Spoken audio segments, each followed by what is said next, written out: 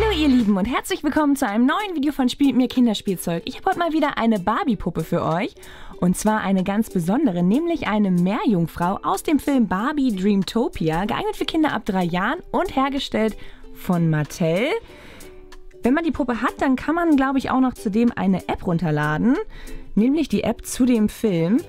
Ich würde sagen, wir beschäftigen uns aber als allererstes mit dieser wunderschönen blauen Meerjungfrau.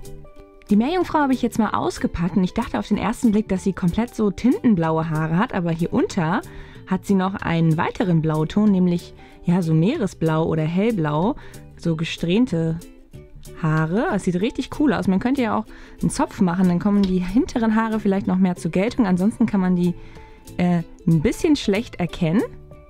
Aber ich finde die Farbkombination auf jeden Fall total schön.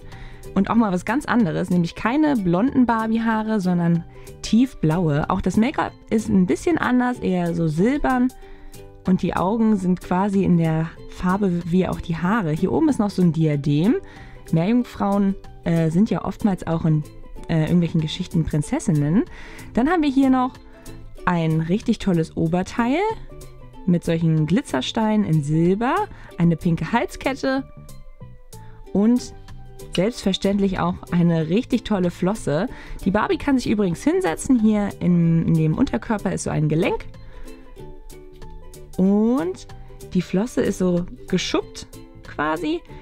Auf der Rückseite sind dann noch so kleine Steinchen, also so Kristalle angedeutet. Und ich dachte, hm, die Flosse ist irgendwie ein bisschen klein, aber da gibt es noch ein weiteres Teil. Äh, das können wir hier einfach so hineinstecken und das verlängert die Flosse. Vielleicht hat das nicht mehr ganz in die Verpackung gepasst. Und die kann man dann einfach so einrasten lassen. Und dann hat die Barbie-Puppe auch noch eine lange, größere Flosse. Die ist auch flexibel. Also ich denke, die Barbie kann man, kann man auf jeden Fall auch mit in die Badewanne nehmen. Es gibt jetzt keinen Aufziehmotor oder so. Das gibt es ja manchmal bei Barbie-Puppen, dass hier im Rücken noch irgendwie was ist, dass man das Ganze so aufziehen kann und dann schwimmt sie wie eine richtige Meerjungfrau im Wasser. Das gibt es jetzt nicht, aber trotzdem kann man sie natürlich benutzen in der Badewanne, im Pool oder auch im Planschbecken, im Schwimmbad, wo auch immer.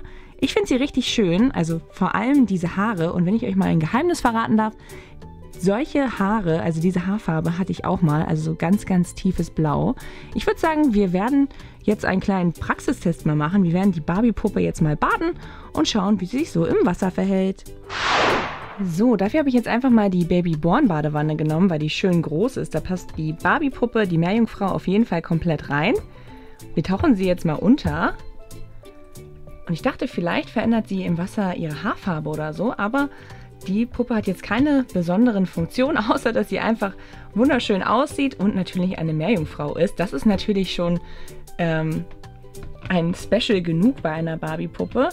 Und ich finde auch unter Wasser sehen die Haare so richtig cool aus, wenn die so im Wasser liegen. Also, ich habe auf jeden Fall schon meinen Spaß gehabt mit dieser Barbie-Puppe. Und ihr könnt mir gerne mal in die Kommentare schreiben, wenn ihr eine Meerjungfrau äh, sein würdet, welche Haarfarbe hättet ihr dann gerne? Hättet ihr solche blauen Haare wie die Barbie-Puppe oder vielleicht pinke oder rote, grüne Haare stelle ich mir auch cool vor. Das war es jetzt von unserer Barbie Dreamtopia Meerjungfrau. Wenn es euch gefallen hat, gerne einen Daumen nach oben geben. Wenn ihr es noch nicht gemacht habt, abonniert natürlich. Und damit ihr kein Video verpasst, einfach auf das kleine Glöckchen. Bis zum nächsten Mal. Tschüss!